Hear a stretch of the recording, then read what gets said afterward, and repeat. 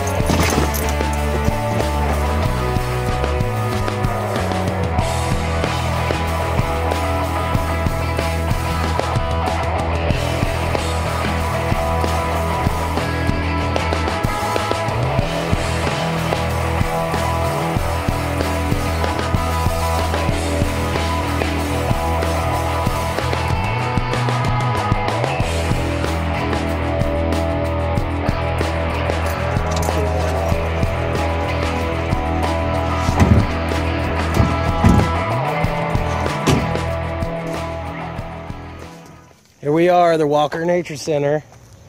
Tessa's favorite place because I let her run around. and I don't have to keep her on a leash uh, unless it's too busy. Um, but it's National Pet Day, so have a little fun. Might even stop by the pet store later since they allow her to come in and get her a nice treat, you know.